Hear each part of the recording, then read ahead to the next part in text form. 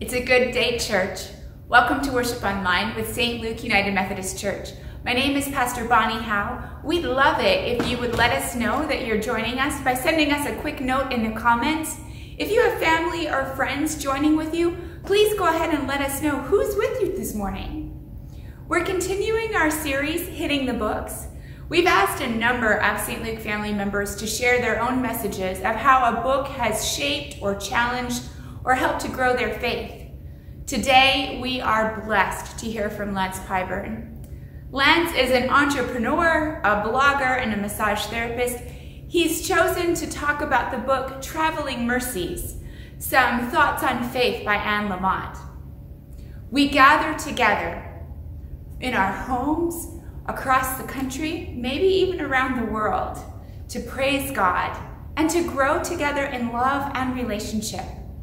Friends, let's join together in the call to worship. Every day, hearts and bodies are breaking. Every day, the suffering of God's people continues. Though we will not turn away from the struggle, we wonder and we cry and we lament. Will power remain in the arms of the wicked forever? Will racism and anti-blackness go on perpetually?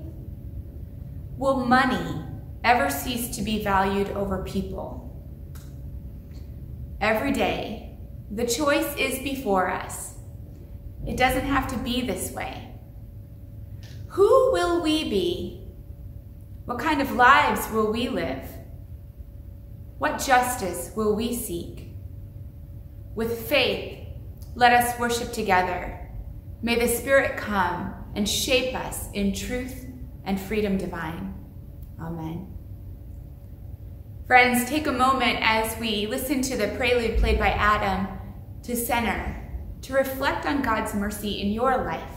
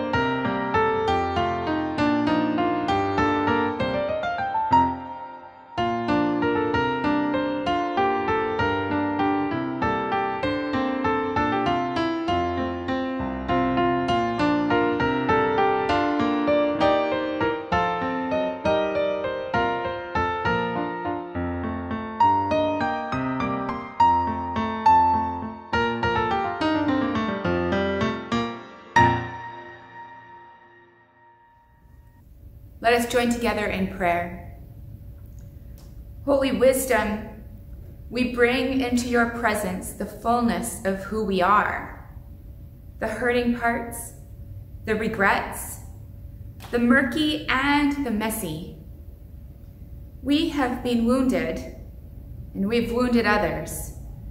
With courage and humility, we seek your guidance in the mending of the worlds between us and within us. Amen. Let's join together as we sing our hymn of praise this morning, Just a Closer Walk with Thee.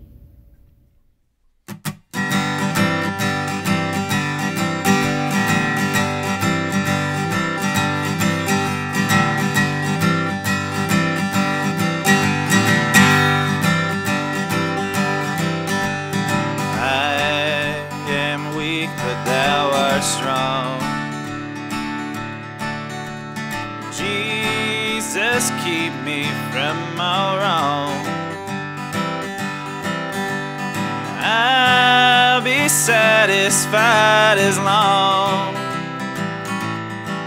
as I walk. Let me walk close to thee. Just a closer walk with thee. Granted, Jesus is my plea.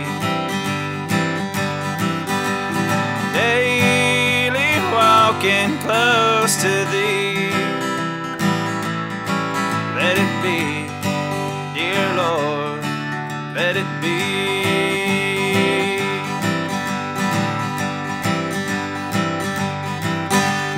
Through this world of toils and snares. If I falter, Lord, who cares? Who with me my burden shares? None but Thee, dear Lord, none but Thee. Just a closer walk with Thee. Granted, Jesus is my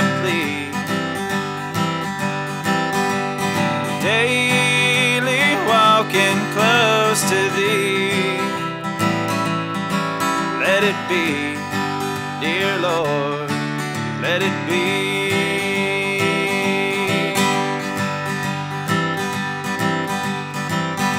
And when my time on earth is o'er, time for me will be no more. Guide me gently, safely kingdom shore, to thy shore. Just a closer walk with thee. Granted, Jesus is my plea. Daily walking close to thee. Let it be, dear Lord, let it be. Let it be, dear Lord, let it be.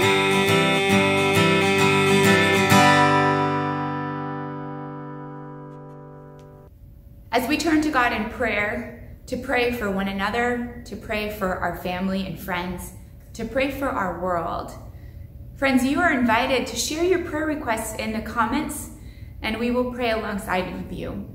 We also will add them to our weekly epistle. It's a newsletter, and so we can be in prayer with you throughout the week. God hears our prayers and cares for us all deeply. Let us pray. Loving and merciful God, we come before you this day fresh from a week in which we have been challenged. Some of the challenges have caused us worry and strife. Other challenges bring to us clear direction for our lives. In all of this, you are with us, bringing healing and peace for our lives. We offer to you the names of all those who are ill, who mourn, who feel lost and alienated, wondering if anyone cares about them.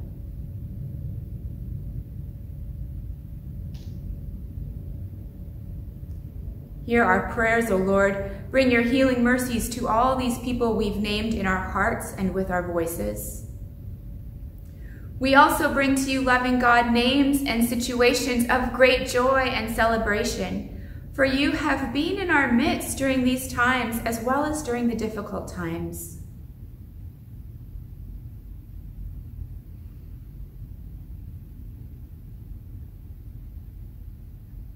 Hear our praises, O God. Bring your loving presence to all these people we have named with our hearts and our voices. For it is in confidence of your abiding love and mercy that we offer this prayer, and the prayer that Jesus taught us, saying, Our Father, who art in heaven, hallowed be thy name. Thy kingdom come, thy will be done on earth as it is in heaven. Give us this day our daily bread, and forgive us our trespasses as we forgive those who trespass against us. And lead us not into temptation, but deliver us from evil. For thine is the kingdom, and the power, and the glory, forever and ever. Amen. Let us join together our hymn of prayer, I Need Thee Every Hour.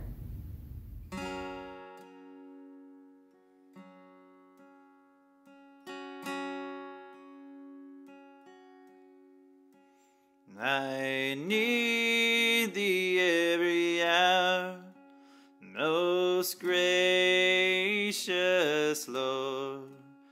No tender voice like thine can peace afford. I need thee, oh, I need thee. Every hour I need my Savior. I come to thee. I need thee every hour. Stay thou nearby. Temptations lose their power when thou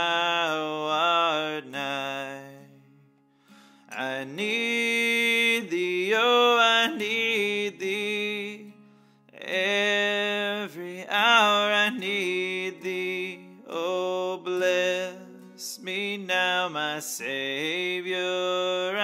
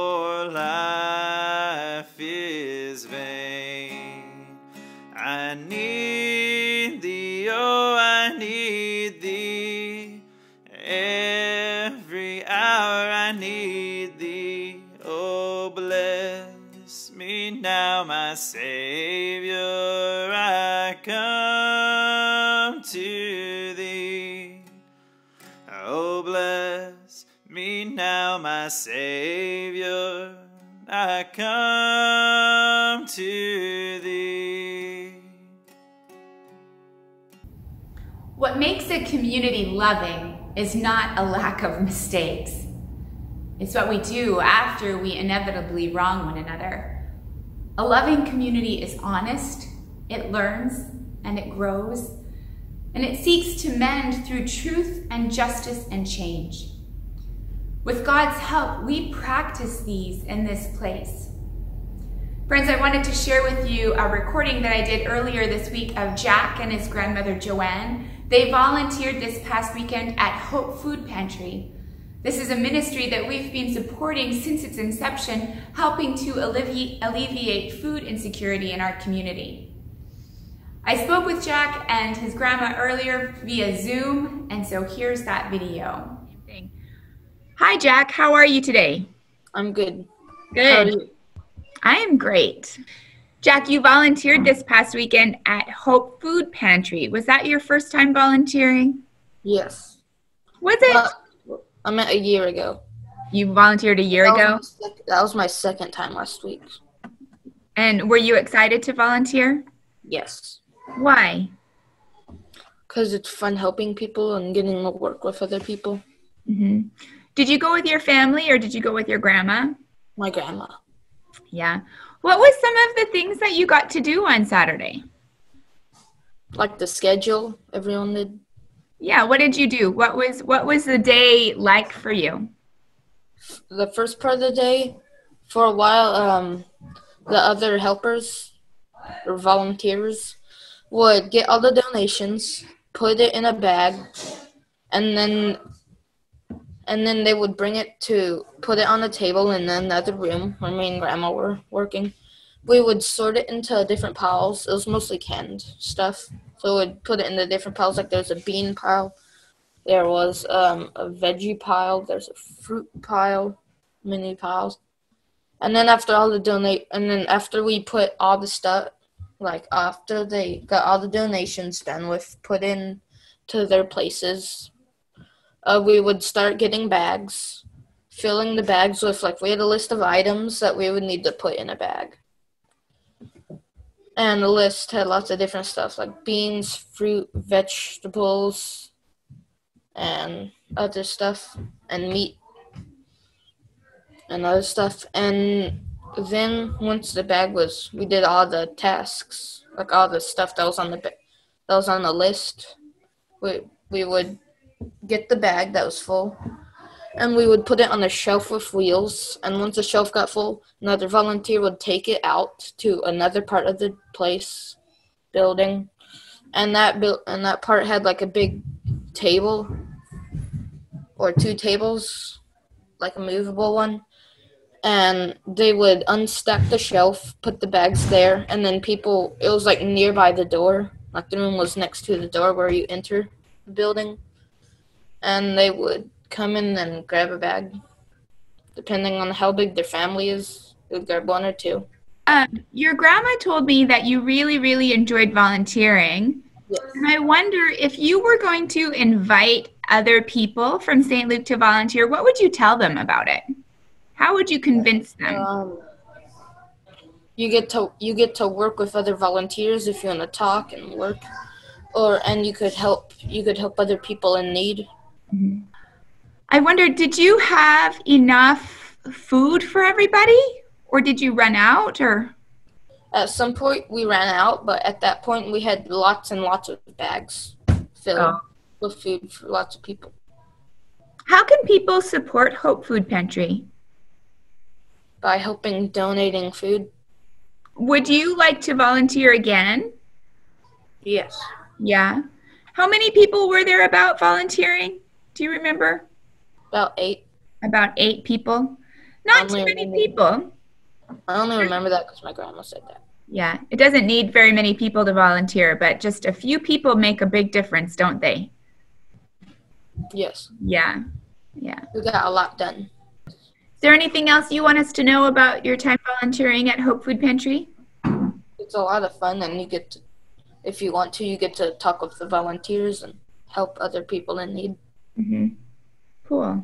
Thanks so much, Jack. I appreciate you taking the time to make this video with me. No problem. Awesome. Awesome. Have a good day. You too. Bye bye. I love Jack's enthusiasm. He really expressed a great joy for volunteering. Beloved community, we appreciate all of your support for all of the efforts of St. Luke to bring about God's peace, hope, love, and justice in the world. We thank you for your faithful generosity as you share your prayers, your presence, your gifts, your service, and your witness. We encourage you to sign up for our newsletter so that you can receive our prayer list and be informed of the upcoming service opportunities and just share in the life of St. Luke. And you can support our ministries giving through our website at www.stlukeaustin.com or mailing your support to St. Luke at 1306 West Lynn Street in Austin, Texas. Our zip code is 78703. Let us pray. Just and compassionate one, as we bring our offerings, we remember that economic oppression is one of the great and ongoing violences of our world, still so far from redemption. Guide our practices, individual and collective, in the stewardship of our resources. May we be faithful in sharing, redistributing, and disrupting the systems of exploitation that harm us all in body and spirit. Amen.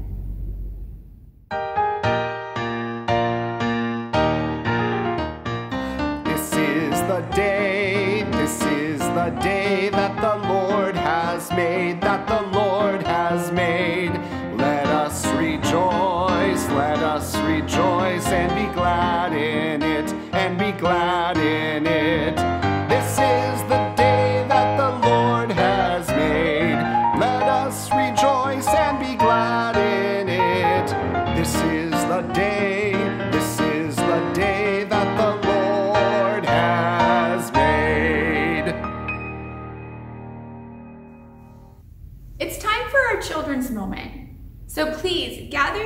closer to the screen for this special message for them.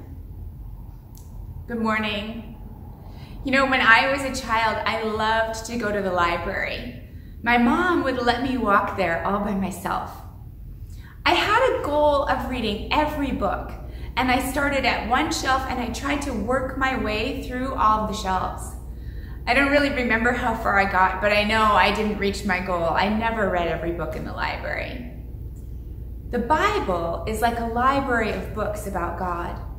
There are 66 books in total in the Bible that we use. Imagine 66 scrolls combined together, each having a different author, or some authors may have wrote more than one of those scrolls, one of those books. They're divided up into two sections, the Old Testament, and those are the scrolls that tell about God and God's people before Jesus came. And then the New Testament, the books that tell of Jesus and the people who followed him and became the, became the church in the years after. We say that these are God's words because these are the testimonies or the stories of people who were interacting with God through the Holy Spirit. These are not the only stories of God working in the world. You have a story of God working in your life through you and through how you love others. I have a story too. And when we tell our story and share how God loves us, it's as if we're adding to the Bible. We're adding to the stories that we share what we know about God. And we can learn so much about God and God's love when we read the Bible, and we learn about God too when we tell our stories or listen to other stories, like we're doing to get today together. I hope that you are courageous and share your God stories with your friends and your family. Let's pray. Dear God, thank you for how you have been a part of the human story all along. You showed us your love through all the people of the Bible, and you still show us your love today through our family, our friends, and our neighbors. Help us to share our God stories and share your love with the world. In Jesus' name we pray. Amen. I mentioned earlier that we would be continuing our Hitting the Book series. We're having a guest speaker today. His name is Lance Pyburn. He's a member of St. Luke. He's actually our co-chair or our vice chair of our church council. He's a dynamic young person and I am so pleased that he's giving his message today. He's sharing his thoughts on a book called Traveling Mercies by Anne Lamott. I started reading it in anticipation of his message and I resonated so much with so many of the experiences that Anne shares. And I know as you listen to Lance's message today, you will be moved and transformed. His message is a traveling mercy for us all today. Friends, let us pray as we begin to hear this message. Beautiful one, be present with us as we are blessed by Lance's message today, by his sharing. Help us to hear to understand and be transformed. By the power of your Holy Spirit, we pray. Amen. Amen. Good morning. If we haven't had a chance to meet yet, my name is Lance, and I am the vice chair of the church council here at St. Luke. When Bonnie first reached out about the Hitting the Book series, she included a couple of prompts on how to go about selecting a book, um, with one being choose a book and share how that writing had shaped or impacted your faith. The answer to that question was a no brainer for me partially because I'm not the biggest reader, which means that any book that I read cover to cover is probably going to have a lasting impact on my life, but also because out of the handful of books that I've read, there's been one book that I've been coming back to repeatedly over the course of the last 13 years or so, specifically on guidance, on faith, and how to interact with others in this world. That book is Traveling Mercies by Anne Lamott, and it's a collection of nonfiction essays that chronicle Anne's life as well as some of her thoughts on faith. Now, I quickly realized that thinking of the book was going to be the easy part once I sat down to think through what message I was going to be sharing exactly. I've ran into this dilemma a handful of times in my life when I've suggested the book to family or friends for them to potentially pick up and read themselves. What's the book about? They'd ask. Well, it's just stories about her life and um, thoughts on faith. That description felt adequate, rarely felt adequate, if not completely underwhelming it's not exactly the type of review that would make someone who wasn't familiar with Anne or her style of writing want to rush out and buy the book. It also seemed like the person's own definition and connection to the word faith was a strong determining factor on whether or not they'd be interested in having a further conversation about the book at all. So, with all that in mind, I've decided to share a few pieces of my life to give some context on what was going on each time I came to Anne's words for guidance or comfort and share a few examples of how it shaped my faith before ending with some traveling mercies of my own to you in this, our year of 2020. The first time I picked up Traveling Mercies was in my very, very late teens.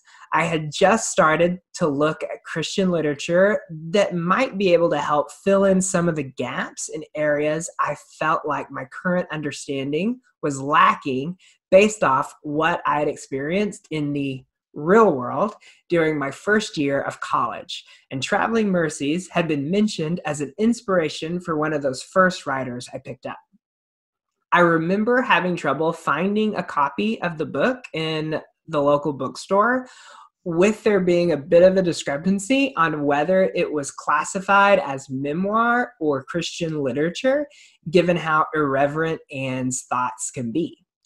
I also was still a bit skeptical as to whether a book seemingly about nothing other than ordinary life would be worth my time or offer any insight into all of the big problems that I was needing help sorting out. My time reading the book, or my first time reading the book rather, continues this trend of my expectations being subverted by everything that Anne wrote and represented. The first section of the book is labeled an overture, where Anne walks us through her backstory of growing up outside of San Francisco in Marin County her family life, and her early interactions with folks of various faiths before eventually joining a church later in life herself. I thought it was pretty boring my first time through. I'm going to be honest. Um, my thought was, where was the big advice on how to live a perfect life of faith? I kept thinking. Truth be told, I skimmed through it to get to the later sections where each chapter was a nicely contained essay with themes and a message because I believed the mumbled storytelling of the overture was not worth my time. Looking back at the worldview that I held at the time of that reading, it only makes sense that this was my initial response to Anne folks who listened to my talk on why I believe in miracles know that I grew up in a small town in rural Texas where the preaching extended far beyond the pulpits of the various churches to make up the fabric of small town culture. What that meant is that ideas on who was admirable and what type of behavior was desirable were all heavily influenced by a fundamental and evangelical Christian belief system whether the topic at hand was directly related to church or not. All that to say is that everything that I had been taught and observed about Christianity led me to believe that Anne Lamott shouldn't be an authority on the subject. I was used to strong or good Christians speaking out confidently about their faith in somewhat generalized um, and maybe overly simplistic platitudes, mind you. but even if you did have doubt or setbacks along the way, you would make sure to note that there was minor stumbles on a path that you strongly believe to be predetermined by God. Anne, however, describes her journey to faith as a series of staggers on lily pads that she used to move across a swamp of doubt and fear. In the overture, she shares that she grew up in a non religious household where she and her brothers were raised to believe in books, music, and nature.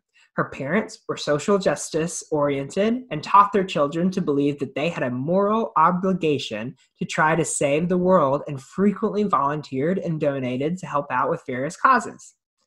They also had high expectations for Anne in school that she notes by sharing that it wasn't until she was 35 that she learned that a B plus actually was a pretty good grade. She also shares that drinking was fairly common in her childhood home, both at parties and otherwise, and that she also started taking part in that activity and trying out other types of substances at an early age.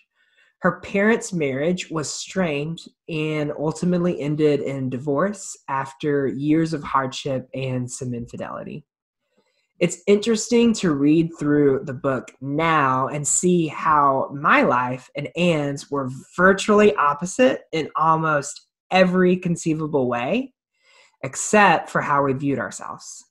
This is evidenced by Anne sharing that a friend's mother, who was a Christian scientist, which her father described as so crazy that they actually made Catholics look good, stuck out to Anne as being different because she would tell Anne that she was a perfect child and that she was entirely good and that everything was fine. All evidence to the contrary, according to Anne. Unlike Anne Lamott, I had been given a set of operating instructions in the Christian belief system that provided me with steps on how to be a good person and how to do life in the right way. Unfortunately, the operating manual I had been given also clearly spelled out that who I was at my very core as a queer human was wrong. And no amount of checking boxes by doing everything right was going to change that. I was beginning to realize that there would truly never be a place for me within the Christian framework as I understood it. This is why Anne's words about never speaking up or speaking out about uncomfortable things in her life resonated with me so much, even at that first time of reading.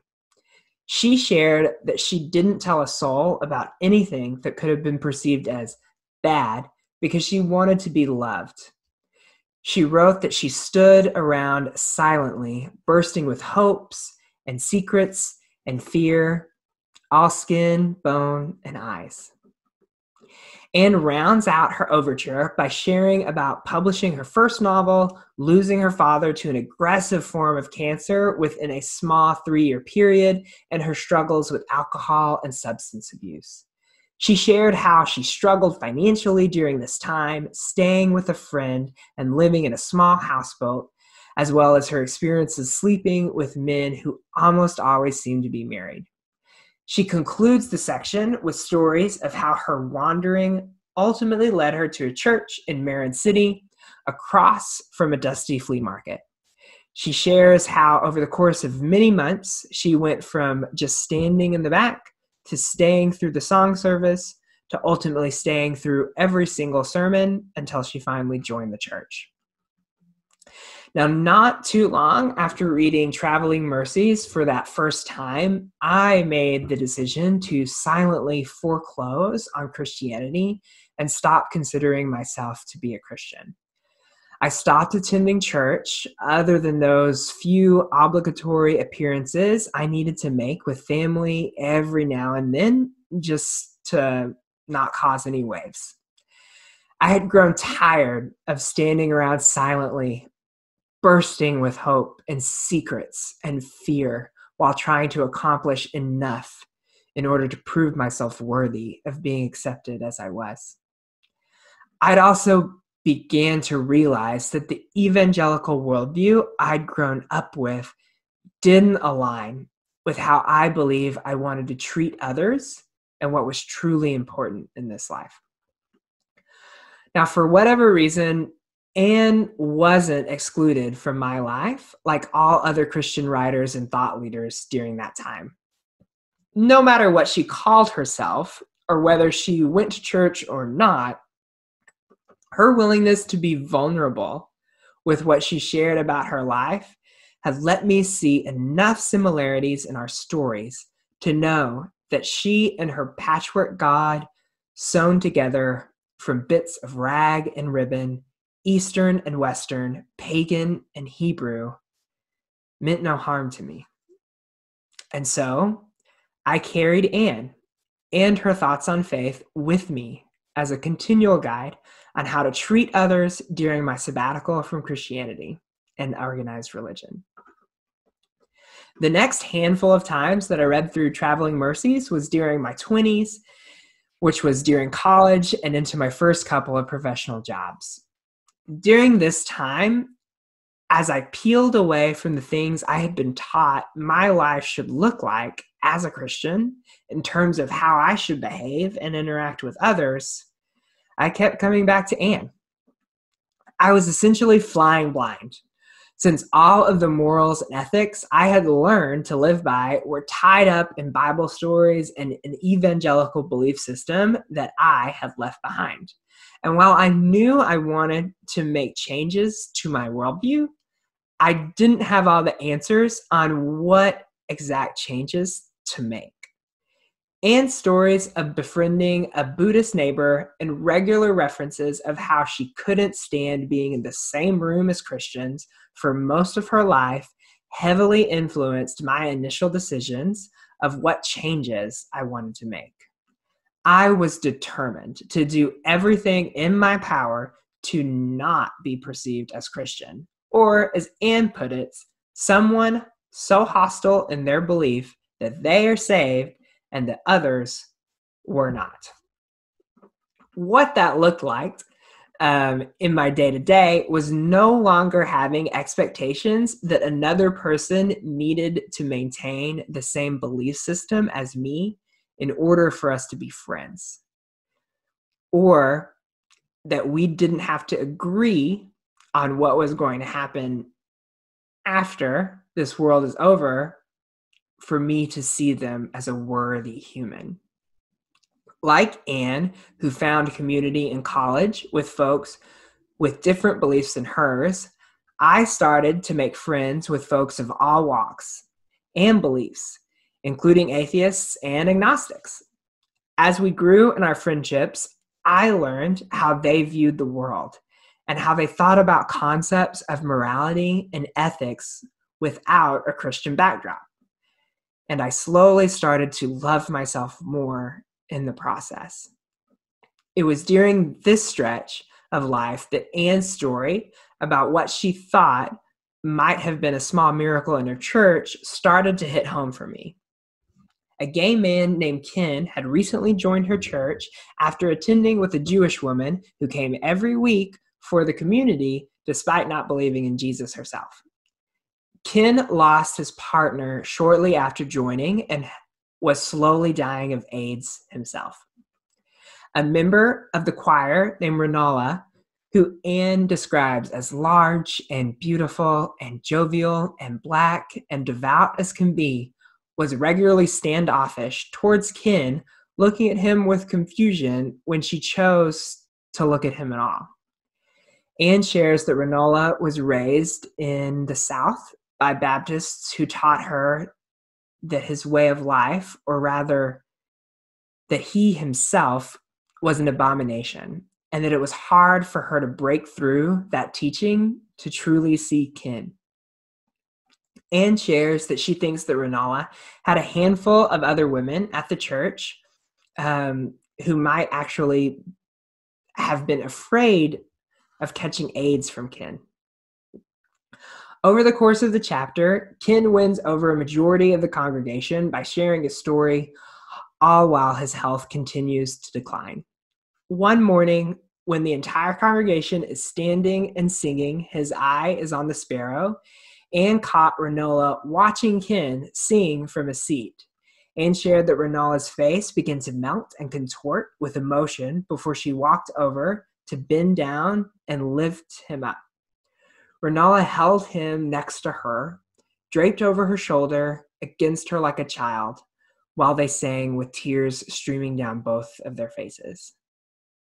Now, this story of a small and seemingly ordinary miracle became somewhat of a North Star in my life.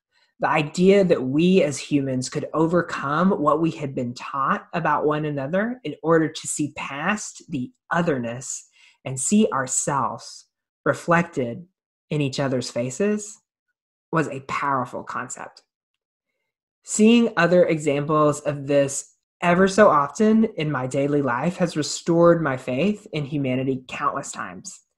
And thanks to Anne, I was looking for it in so many places other than inside the walls of a church. Now, fast forward to present day, and it's pretty clear that I did end up joining a church here at St. Luke. It wasn't because I felt like it was something that I should do in order to become someone that I was not, though. It was just because, like Anne, I simply wanted to join a community of faith, and I'm so thankful for y'all for welcoming and accepting me just as I am. The last handful of times I've read this book, I find myself finding more humor in Anne's words and how most of my outlook and worldview has changed. Like Anne, I at one point believed that all adults had some kind of inner toolbox full of shiny tools like the saw of discernment, the hammer of wisdom, or the sandpaper of patience. But now that I'm very much an adult myself who interacts with other adults on a regular basis, I agree with Anne that it feels like life simply just handed us eh, some rusty, bent old tools like friendships, prayer, conscience, honesty, and said, Do your best that you can with these. They will have to do. And mostly, against all odds, they're enough. At this point, I've deconstructed many aspects of my faith. That process has been shaped by my own experiences of being othered by church and myself, so much so that much of my lived faith now centers around simply not doing that to other people. What that means is that I don't believe faith is about forcing the way that I live my life on others in any capacity. If anything, it's simply meeting them where they're at and still working to see God in them. At one point, I believed living out my faith meant working to change the hearts and minds of those who still lived under that more narrow and unforgiving worldview that I used to hold. This cookie cutter Christianity that has been scaled and mass marketed over decades and generations to provide hope, security, and self assuredness. Kind of like the stock Hallmark cards that you buy at the grocery store.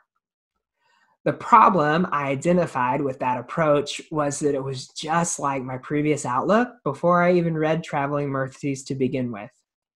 Change your belief system to meet mine, and we'll all get along fine. What I've realized in my last couple times reading the book is that Anne never outlines what someone should believe or a right way to practice their faith. She simply shares stories of her own. With that said, I am starting to believe that living out my faith means finding folks who have been cast aside, either outright or by denying themselves through small acts of cutting off and repressing parts of who we are to fit into this perfect Christian narrative, and encouraging them to live authentically, to share their stories authentically, to name the trauma and the harm that has been caused by bad theology mixed with human fear, shame, and hate. To cry with them, to lift them up, and to let them know that we are enough. Now, the term traveling mercies does come to play in the book as the title of one of the essays in the section about church and people. Anne shares that it's a phrase that the old people at her church say when someone goes off for a while. Traveling mercies, love the journey. God is with you. Come home safe and sound. She opens the chapter by sharing how broken things felt in her life and the lives of people she loved at the time of the writing. She even shares that Ken, who she had spoke about and written about previously, had passed away at this portion of the book um, she then concludes, though, by saying traveling mercies uh, to the mother of a dear friend as they took their last breath in their home in San Francisco. In this way, Anne continues to subvert what many folks, myself included, have come to think of certain Christian sayings and phrases. The essay is by no means saccharine and overtly positive. And while she does share a couple of silver linings, they are just as quiet and as unassuming as Anne can be herself. Now, 2020 has certainly been unpredictable, given that we are more than six months into a global pandemic. While the impacts on each of us might be different from an economic, health, and social perspective, all of us are being impacted in some way. I think it's important to realize that in addition to the health and economic impacts of the virus, it also brings something else to our attention more regularly in our day to day. And that is running into instances where people might make different choices than us based off of potentially different beliefs. I know it can be disorienting when you run into that type of situation, depending on how you're feeling or a variety of other things that are going on with you that day. I'm going to take a cue from Anne by not pretending I have the answer as to what is the right thing to be done in a situation like that. But what I will do is share what has helped me in similar instances over my life, just like Anne would. So, in those moments, when I run into someone who views the world and chooses to live their life in a very different way than me. Maybe so much so that they even overtly tell me that the way that I'm doing it is wrong. It's easy to get caught up in absolutes about how you should always do this thing because that is the obvious choice. And it's really easy to completely diminish the other person in that process. And what I have found is that when I stop and hold space in that moment to recognize that life does has subtle undertones of hope, I can start to see past the otherness, to find parts of myself reflected in that person. This puts me in a better mental space to still remember to see the human in front of me and detach their humanity from their actions and beliefs, which help me act in ways that I would hope someone else would handle me if the situation were reversed. So, no matter what comes our way as we continue throughout this year, I wish you traveling mercies along the way. Traveling mercies. Live authentically, practice empathy, Create space for yourself and others. God is with you. Come home safe and sound. Thank y'all all so much for giving me your time this morning. I hope you have a blessed rest of your Sunday. Thank you, Lance, for sharing your own story with authenticity and courage. It truly is in sharing our stories and our lives with one another that we become love for the world. And thank you, Lance, for how you've encouraged us to be thoughtful as we encounter the humans around us each day, seeing them as human rather than other. Beloved friends, let us sing together What a Friend We Have in Jesus as a response to Lance's message.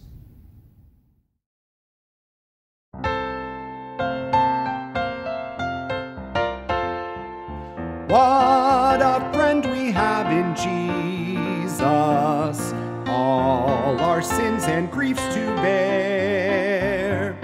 What a privilege to carry everything to God in prayer. Oh, what peace we often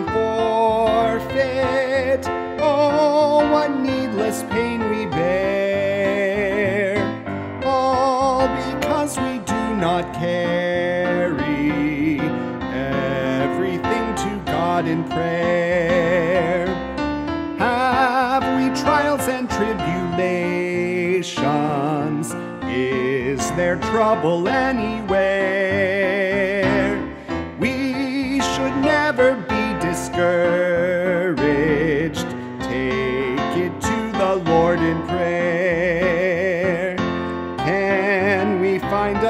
so faithful who will all our sorrows share? Jesus knows our every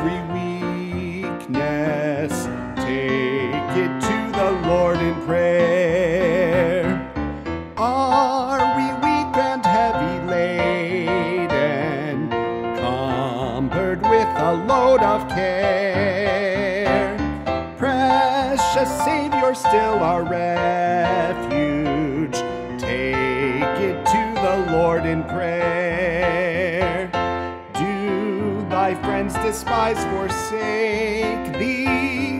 Take it to the Lord in prayer. In his arms he'll take and shield thee. Thou wilt find a solace there. Just an announcement before we close our service today. Starting in two weeks, I will be leading a study group through a, a study about what it means to be missional or sent and incarnational or embodied people of faith. Like the people that Anne Lamott writes about, how do we become people of love and grace to everyone we meet? It's loosely based on a resource called the Tangible Kingdom Primer, and it'll take place over nine weeks, ending the week before Thanksgiving. There is a daily exercise or a practice, and then once a week we'll meet via Zoom to reflect on our experiences.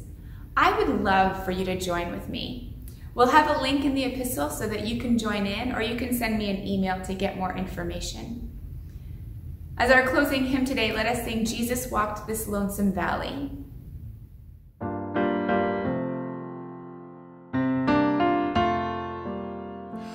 Jesus walked this lonesome valley. He had to walk it by himself.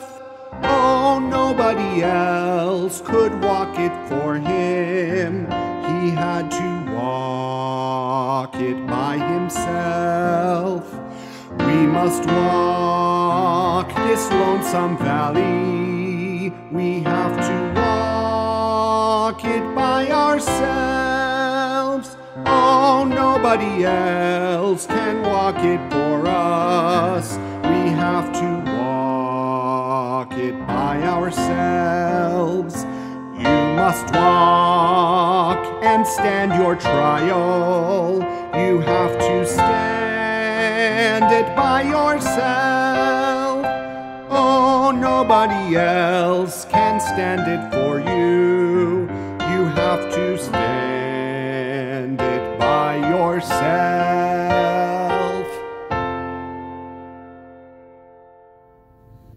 Friends, hear this blessing as we end. Beloveds, though there is much in this world we cannot control, the power we have is sacred and true. In partnership with God, through practices of honesty and confession, through extensions of mercy, through resistance that heals and transforms, we glimpse the heavens and the kingdom draws near. In the company of the Spirit, we are sent to join the menders of the world. Thanks be to God. Amen. Let us sing together as our closing song, The Irish Blessing, and may you all go in peace today.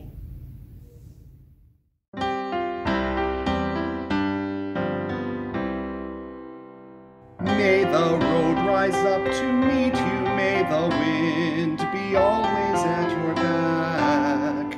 May the sun shine warm on your face and the rain fall soft upon your fields. And until we meet again, may God hold you. May God